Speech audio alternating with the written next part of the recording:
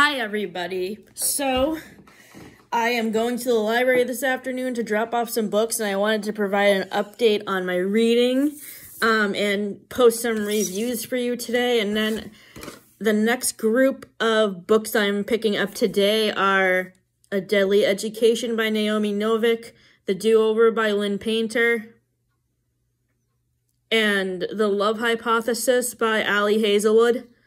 So the first book I wanted to talk about today is Dial A for Aunties by Jesse Q. Sutanto. Um, so this is a book about a girl who is accused with killing a blind date of hers, and she calls her aunts in for reinforcements for like um helping her solve the murder and clear her name. So um the family dynamic in this book kind of reminds me of um Turning Red, the Pixar movie that is set in Canada, Canada, Canada, um cuz um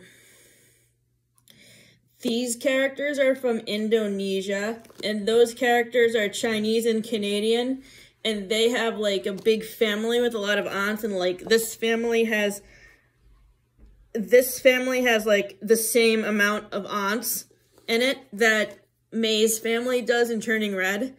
And I just love the family dynamic between each of the aunts and the main girl, Meddy, because um they just have really good chemistry with each other throughout the story. I gave this book four stars on Goodreads, and I highly recommend it. The next movie, the, yeah, the next book I want to talk about is Things That We Never Got Over by Lucy Score. In this book,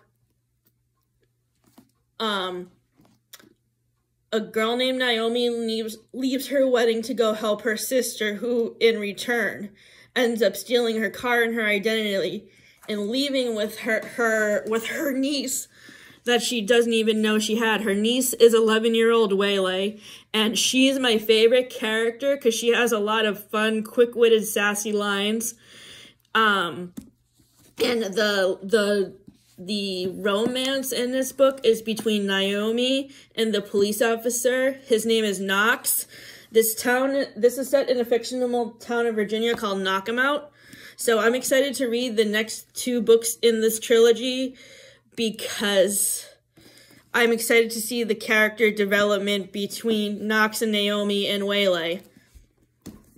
The next book I wanted to talk about is a holdover from my holiday reading list, Wreck the Halls by Tessa Bailey. The plot in this book is very similar to All I Want for Christmas, where um, the main characters are two musicians who are competing against each other. Um, on a TV show and they are enemies to lovers, but they're also trying to save the TV show they're on because it's the reunion for the show that their parents were in or something and like the uh the the parents were very competitive too. So there's a lot riding on their relationship working out and I'm not going to spoil anything that happens. So in case you want to read to the book yourself, you can find out.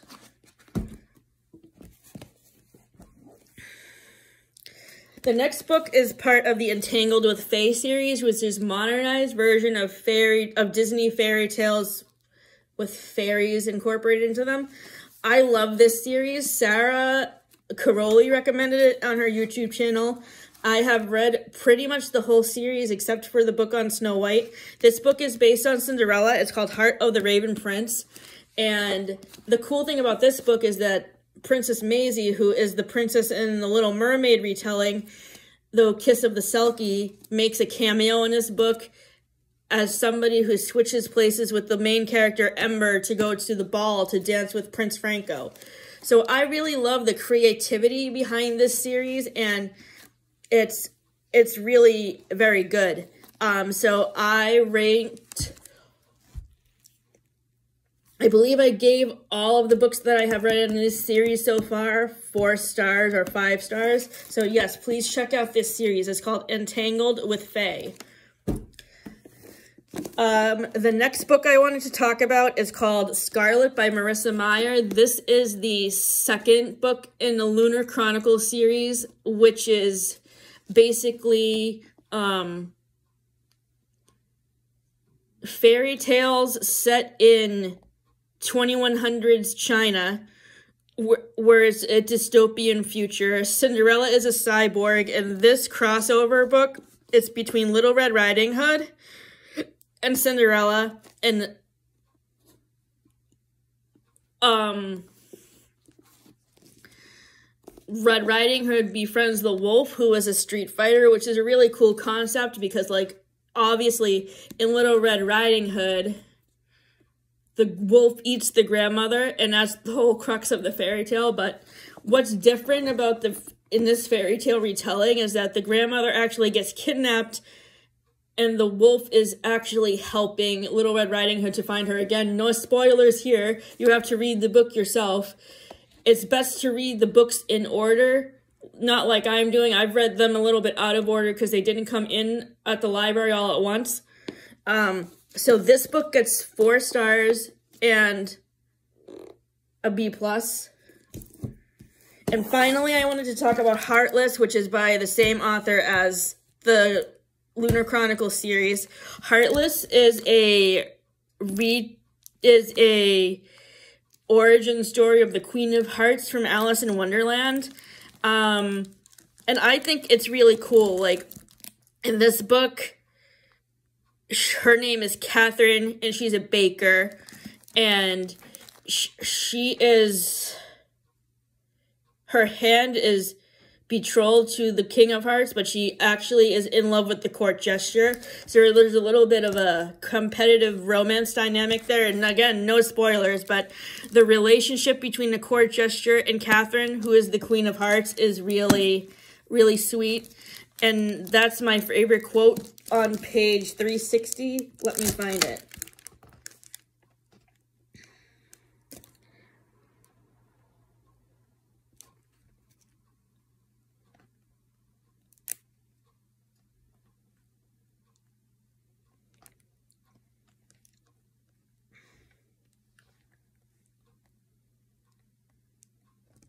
Okay. I can't find it right now, but I'll and I'll have to find it later. So, um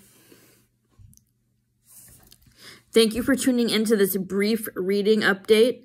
Um, I was originally going to split up the reviews of these books, but since I have to return them to the library today, I figured it was just easier to review them all at once so I wouldn't have to split up the reviews. So my next my next TBR update will probably be later this weekend. And I will see you guys then. Have a great week. Have a great weekend.